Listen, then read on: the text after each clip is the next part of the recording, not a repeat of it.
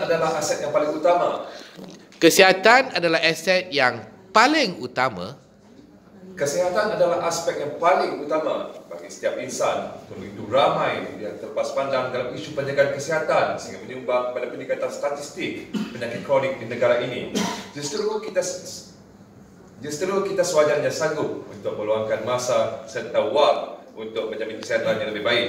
Laporan Adik Osman untuk rangkaian berita, Media Prima.